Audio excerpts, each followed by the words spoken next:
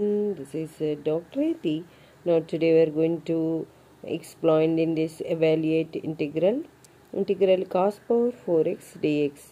Now write here cos square x whole square dx. That is here using the formulae by integrated uh, using trigonometric formulae cos square x means 1 plus cos 2x by 2 whole square into dx here 2 square means 1 by 4. 1 by 4 here right. Integral of 1 plus cos 2x whole square. Using the formula a plus b whole square here. Uh, a plus b whole square means formula a square plus 2ab plus b square. Okay. Oh. Here a means 1. So a square means 1 plus b square means cos square 2x plus 2ab means 2ab 2 into 1 into 2x sorry 2 into 1 into cos 2x 2 cos 2x dx. Next that 1 by 4 here write integral of 1 dx plus 1 by 4 again multiplicated in this term.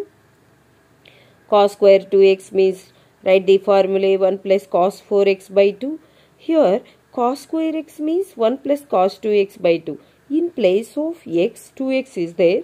1 plus cos 4x by 2 dx plus here 2 is there. Therefore 2 by 4 integral cos 2x dx. Now integrated 1 by 4 integral 1 dx means x plus 1 4 2s are 8 1 by 8 integral 1 dx plus 1 by 8 integral cos 4x dx integral cos 4x dx plus here 1 by 2 integral cos 2x dx.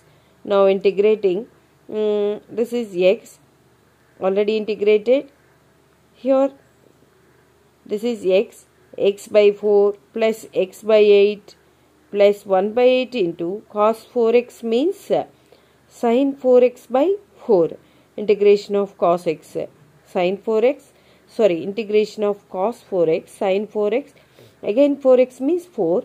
Uh, integration means denominator right here plus 1 by 2 integral.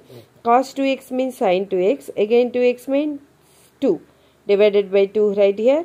Or oh, after integration here adding the constant plus c. Okay oh here simplificate this.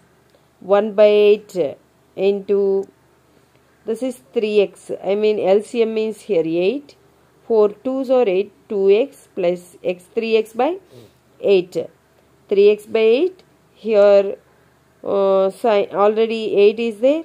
And here also 4 now in this total whole term um, 1 by 8 is a common factor. So 1 by 8 into here 3x and here write uh, sine 4x by 4 and here write 2 multiplicating 2 why? Because here 4 denominator only 4 is there. 2 sine 2x 2 4s are 8 so we'll get 4 here. Okay uh, now 2 sine 2x plus c. This is the solution by the given evaluated integral integral cos 4x dx. Okay oh, thank you